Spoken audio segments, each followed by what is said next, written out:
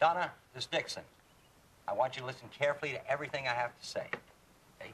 We had a snake delivered here for the Department of Health.